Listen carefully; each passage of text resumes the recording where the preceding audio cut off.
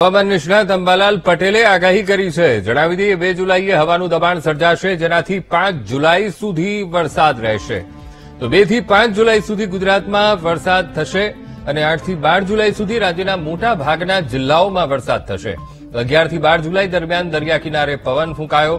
પવન ફૂંકાશે, અઢારથી વીસ જુલાઈ દરમિયાન હવાનું દબાણ ઊભું થશે અને વરસાદ પણ પડશે. તો ઓગસ્ટ મહિનામાં પણ ગુજરાતમાં સારો વરસાદ થશે. આગાહી પ્રમાણે આ જોઈએ તો હજુ પણ વરસાદ થશે? હજુ બીજી જુલાઈ સુધી પણ વરસાદ થવાની શક્યતા રહેશે? જેમાં ઉત્તર ગુજરાતના ભાગો, મધ્ય ગુજરાતના ભાગો અને પૂર્વ ગુજરાતના ભાગોમાં પણ વરસાદ થવાની શક્યતા છે. દક્ષિણ ગુજરાતના ભાગોમાં વરસાદ થવાની શક્યતા છે. પણ દક્ષિણ ગુજરાતમાં વરસાદનું જોર ધીરે ધીરે ઘટશે. સૌરાષ્ટ્રના ભિન્ન ભિન્ન ભાગોમાં વરસાદ થવાની શક્યતા રહેશે. પણ ઉલ્લેખનીય છે કે મહેસાણાના ભાગો, પાલનપુરના ભાગો આ ભાગો પણ વરસાદ થવાની શક્યતા છે. વાવ થરાદ અને સુઈગામના ભાગોમાં કંઈક ક્યાંક ક્યાંક ક્યાંક વરસાદ થવાની શક્યતા રહે છે. ઉપરાંત, હાલોલ, કાલોલમાં પણ વરસાદ થવાની શક્યતા રહે છે. મહેસાણામાં અરવલ્લી, સાબરકાંઠામાં વરસાદ થવાની શક્યતા છે.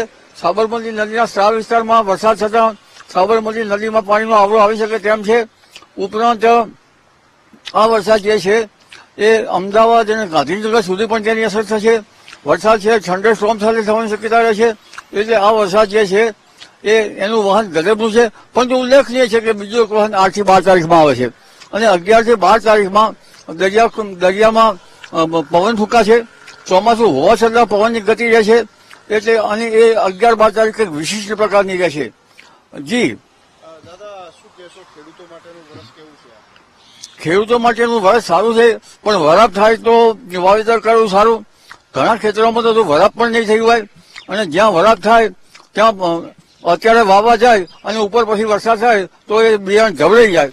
એટલે આ મુશ્કેલી થવાની શક્યતા છે અને વરસાદ જો વાવવા વાવવા દે તો સારું. કારણ કે બીજું પણ વાહન આવી રહ્યું છે તડકો નીકળે વરાપ થાય, વાવેતર કરવું સારું. અને કોઈ ભાગમાં વાવેતર મોડા થાય તો અર્લી વેરાયટી વાવી સારી. અને ઉત્તર ગુજરાતના કેટલાક ભાગોમાં કવરા પણ રહે છે અને વરાપ ના થાય તો પછી દિવેલા જેવા પાકો વવાતા હોય છે. એટલે પણ હજુ વરસાદ તો જે છે, એ આવવાનો છે. જુલાઈ માસમાં પણ આવવાનો છે. જુલાઈની લગભગ પહેલી તારીખે એક હવાનું હળવું દોડ ઊભું થવાની શક્યતા છે. ત્યારબાદ થવાનું બીજું એક થવાની શક્યતા છે. અઢાર ઓગણીસમાં ત્રીજું એક હવાનું દબાણ ઊભું થવાની શક્યતા છે. એટલે ભિન્ન ભિન્ન ભાગોમાં હવાનું દબાણ ઊભું થતાં આ વરસાદ થવાની શક્યતા છે. આ વખતનું ચોમાસું જે છે. એ નિયમિત ચોમાસાની પેટર્ન નથી.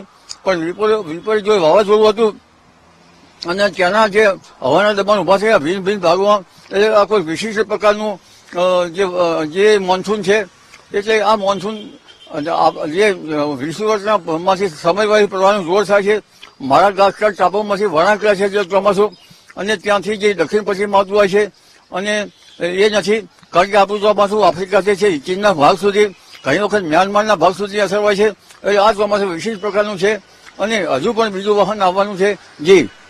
દાદા, શું કહેશો, આ વખતે કેટલું રહેશે?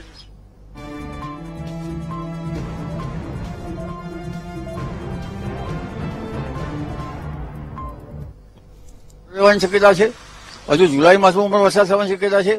ઓગસ્ટ માસમાં શરૂઆતમાં તાપી નદીના જે કિનારે વરસાદ થવાની શક્યતા, સુરતમાં સુરતમાં આશ્લેષા નક્ષત્રમાં પણ વરસાદ થવાની શક્યતા છે. પરંતુ તારીખ ત્રેવીસ ઓગસ્ટ પછી વરસાદ ધીરે ધીરે ઘટે અને ઓગસ્ટ માસમાં ક્યારેક કોઈ કોઈ ભાગમાં વરસાદ જે છે ખંડવૃષ્ટિ થાય. પાછળ, પાછોતર વરસાદ થવાની પણ શક્યતા છે.